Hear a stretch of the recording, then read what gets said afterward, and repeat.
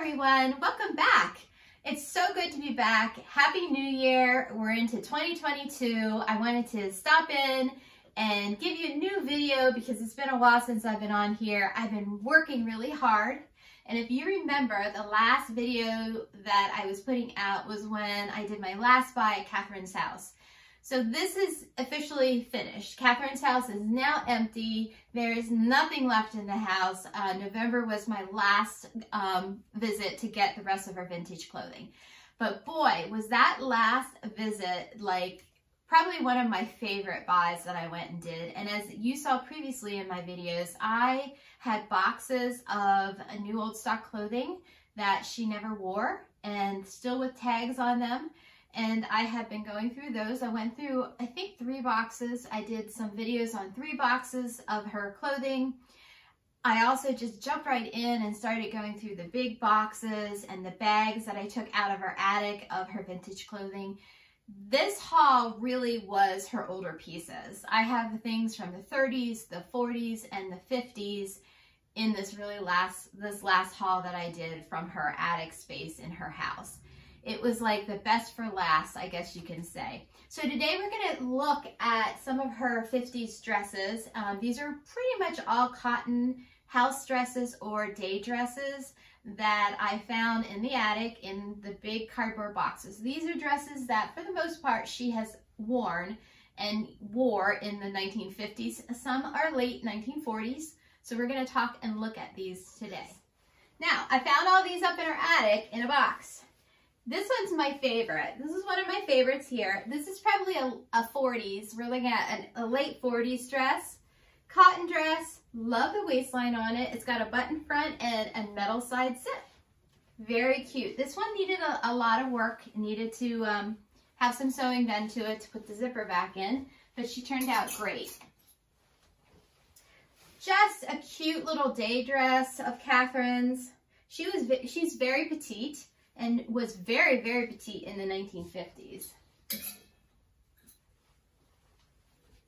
I love this two-tone dress and the beautiful little butterfly embroidery that's up on the top shoulder. Perfect condition. Now this one I did not find in the attic. I found part of it in the attic and one of the things that I've been noticing as I'm going through Catherine's things and the different buys that I have done, I have to be really careful because sometimes part of a set is somewhere else. So the jacket was actually found in the attic portion of the house in a big box and the dress was found elsewhere. So the dress was from one of my earlier buys that I did from the house and the jacket that is matching to it was found in the attic. So I put them together and it's adorable set. I'm really, really happy that I was able to join everything and put things back together. I've had that happen quite a few times now with pieces that I'm like, oh, this looks really familiar. Yep, it's because the set was already somewhere else. So how did things get mixed up like that? I'm really not sure, but I'm really happy that I was pretty much able to buy, I think, everything from her um, wardrobe, so I'm able to put things back together. Just a cute little house dress. It has the zipper in the front. It has some ruching at the side waist here. Just adorable. Just a little house dress, a little day dress. I love the cinched waist on this one. Very unusual. I haven't seen a lot of cinch waist on the little day dresses, but that one has it. And it's a really nice, um, larger medium size. Perhaps that was what, what she wore when she was pregnant. I'm not sure. Maybe it's maternity dress. Another cute little day dress with the back zip on it. These are unusual. You don't often see half zips like this but they are out there and they are very difficult, in my opinion, to get on and off. But there you go. Adorable little polka dot, and I love the neckline right there on this. And this one is unusual because it's got like a side button on it. So this is just a pullover that you just pull over and then you button up. So I'm gonna unbutton it And this is supposed to allow you enough ease to get the um, dress on and off. And then when it's on, then you button it and it gives you a more fitted waistline. So very unusual. I've never seen that in a dress before, but very cute. Here is just a little floral. I think this is something that I found elsewhere also. If you've watched my other videos, you might have seen this one come up, but I pulled it out of my rack upstairs where I've been storing it because I wanted to put it in with all the other cotton dresses. That one's a really nice condition also and has the beautiful rhinestones around the neckline. This one came out of the attic space nice novelty dress. Great little squared off neckline collar on that and the print on it is really interesting. So you can see the print, beautiful, interesting abstract print on it. It does have some staining condition issues. I might try to do some more soaking to get them out. They're very hard to see, but this one was up in the attic. So you're gonna probably come up with some condition issues when you're just stored in an open box in an attic. I don't know if there was maybe a leak at one time. This is probably early 50s. It has this side metal zip on that. One of my favorites coming up here, beautiful little fun novelty print dress.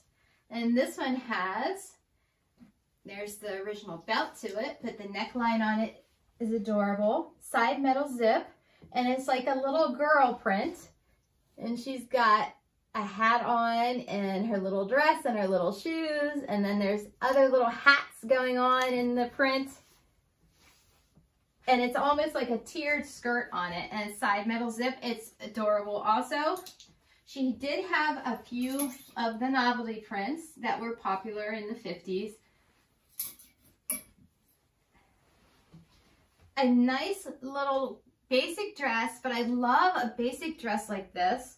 And the smocking that is around the waist, and it's still good, and it still has the elastic to it. And it's just got the cute little eyelet detail on the front.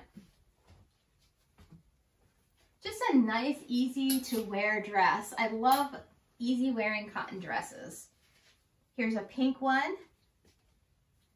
Has the back metal zip on it cute little scalloped edges along the neckline and on the um, sleeves. So cute, cute, easy cotton dress. Now this one is a brushed flannel cotton.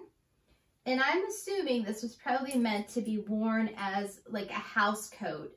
It's really super soft and it's probably for the winter time and meant to be worn that way. This one has the two large front pockets and it is missing some buttons on it and it does have some condition issues that I'm going to work on. There's still stuff that I'm working on, but you can see one of the condition issues is just from normal wear. You can see that there's some sewing that took place. She ripped something in it and she sewed it back up. And this is just normal. I mean, for somebody who hoarded things and kept things, why throw that out just because you have a hole you ripped in it? You just sew it back up. This is a cute set. This is a skirt and a top and it has an applique of a rose there on it and also matching applique on the skirt. It's got a button back top and a metal side zip on the skirt. Cute set. Found that in the attic, crumpled up in a box. This is actually a, um, if you are a novelty print person and you um, follow novelty, novelty prints and collect them, you will know that this is kind of a rare dress here. And this is marked by the maker. I did take the hem out of this because I just assumed that it was, hopefully, the mark was still on this. And this is Gone Swimmin', and it is by the Millworth um, Corp. So this is actually one that people do seek out. Let's see if I can show you the mark on the bottom. I don't know if that's coming in or not, but the mark is there on the bottom of the dress. A lot of your novelty print dresses, there's a high demand for them for certain prints. Some are more rare than others. So this print is actually one that's kind of rare and people do seek out. And I love the fact that it's in a complete dress. Now there was one button that was missing that I had to replace and there are some teeny tiny little pinholes in the dress that I still have to work on. And this one also has one of those very interesting middle of the back zippers. But a very, very cute print. This was found in the attic, crumpled up in the box. So it was happy to find that. That's adorable. Here is a cotton corduroy just winter jumper that I adore too. And I love the pockets on the front of it. It's got that middle of the back metal zipper that I hate, but still a really great piece for wintertime. Another winter piece here, just a little wool jumper with buttons down the front and a back a zipper. Basic little cotton day dress. And I'm probably guessing this might actually be late 50s, perhaps 60s on this. Little sundress, little 1950s sundress, lovely design on it. I have to go in and fix the buttons. Um, the rhinestones fell out of the buttons. And that just happens because it's older and, you know, the glue doesn't hold up as well over time.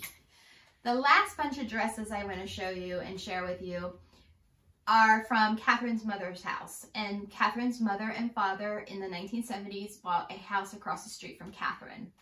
They passed away, I'm going to say over 30 years ago. The house has remained in Catherine's family. They never sold anything out of the estate. So after I took my last buy out of um, Catherine's house, and it's empty now, I walked across the street with um, her son, and he said, let's go over to my grandmother's house, and I want you to go through some closets over there and take the clothing out of the closets um, that I want space for. So I walked across the street to the grandmother's house and was really happy to get the opportunity to go in and to buy the grandmother's clothing. So these are all so from the 1950s. Here is a cute little day dress, house dress. It's got the front zip on it. So this was a dress that would have been worn to do housework around the house. It's adorable because it's got two front pockets and then it's got this cute little dog print going on. Half of the dog is on this side and the other half of the wiener dog is on that side. So it's adorable. And she was a plus size gal in the 1950s and 60s. So I was able to acquire a nice little selection of some plus size dresses from grandmother's house. Here is a cotton day dress. This came out of his grandmother's house. Another little cotton house dress day dress, front pockets and front zip on that. Very nice condition. A little summer dress from grandma, button front. Lovely little lightweight dress there. I like I like this one a lot too because of the western vibe that this little pink gingham dress is giving off. Cotton, lightweight, perfect for summertime. Another favorite. I have so many favorites, but I love the print on this cotton day dress and the pockets on it. This is adorable. And I love the bright yellow color. Very cute. I think I got two here. A little day dress. Uh, this is like an eyelet dress. You will see that it is kind of one where you're going to have to wear a slip underneath of it. It's button front, short sleeve, floral print. This one's adorable too. A little polka dot day dress, house dress, got a zipper on it and front pockets.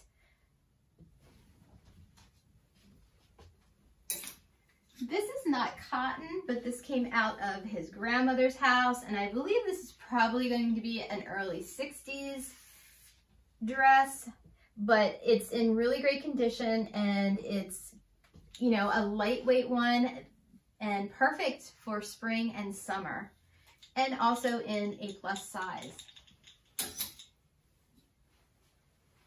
Another little cotton plus size dress, polka dots.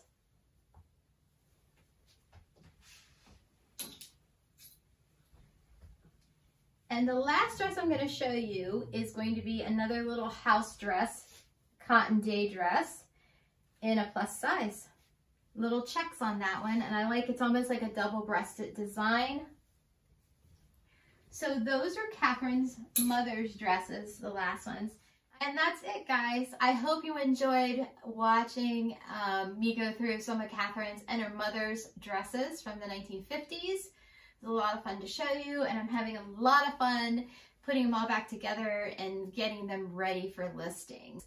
So I look forward to see you soon. Take care. Bye-bye.